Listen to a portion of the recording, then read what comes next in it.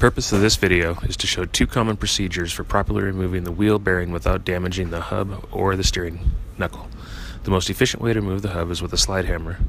Unstake and remove the axle nut, install slide hammer, and remove hub. Once hub is removed, use a bearing race puller to remove the bearing race from the hub.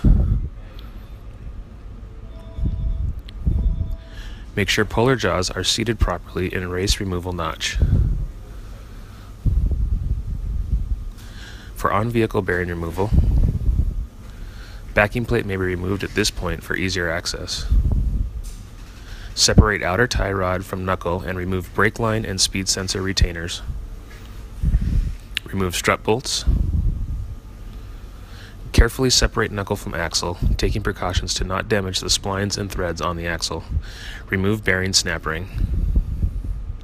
Press out bearing using commonly available on-car bearing removal installation tool.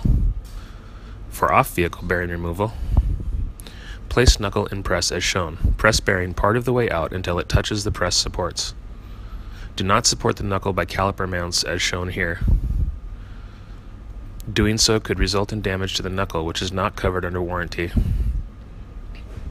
With bearing partially pressed out, remove knuckle from press and move to workbench. Use a bearing cap and hammer to tap bearing the rest of the way out. Not following proper procedure could result in damage to the hub and or knuckle as seen in the following slides and may not be covered under factory warranty. A hub in this condition cannot be reused and must be replaced.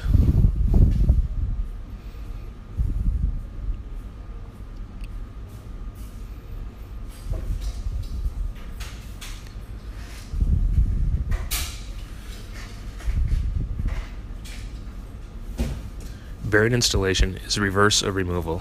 Follow any and all service instructions that apply to this procedure.